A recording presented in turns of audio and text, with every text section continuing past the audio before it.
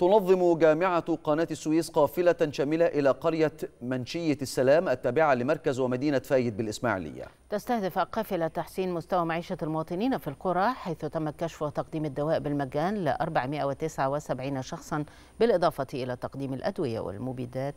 الصديقة للبيئة للمزارعين